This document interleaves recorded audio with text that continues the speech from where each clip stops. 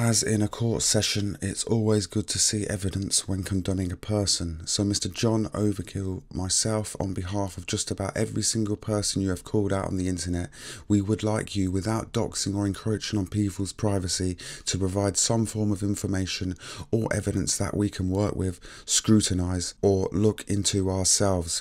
We will accept a passport, birth certificate, driving licence, national insurance, citizen card, ID card, pay slips a photo of a person coming out of a police station or caught around police officers or even in the vicinity of MI5 or something around this area to bring evidence saying that Grey Bleeder stood next to Piers Corbyn, filmed by Tyrant Finder is proof they are agents. It's getting kind of boring and it's wearing thin now. So when the country opens up on the 29th of March and the Featherlight campaigns that you condemn and don't go to, but you start nicking everyone's filming from the people you are calling actors at the same time, that will be your time limit.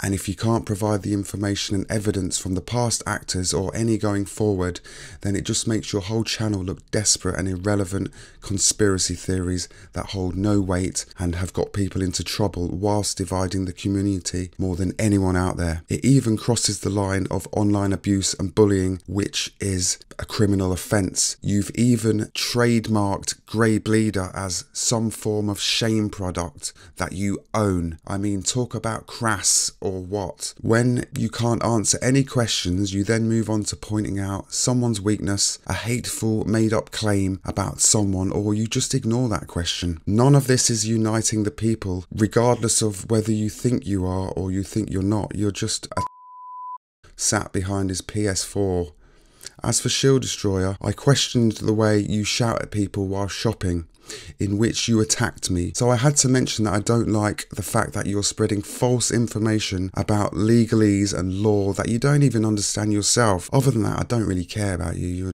so, evidence and solutions, not paranoid beliefs and problems. Let's see you prove any one of your claims without reverting or sidetracking this question. And you can ignore this question all you like, but we are calling you out right now. We would like you to provide some evidence, just one bit of evidence to any of your claims. Otherwise, you're just pointless and you're going to fade into history as a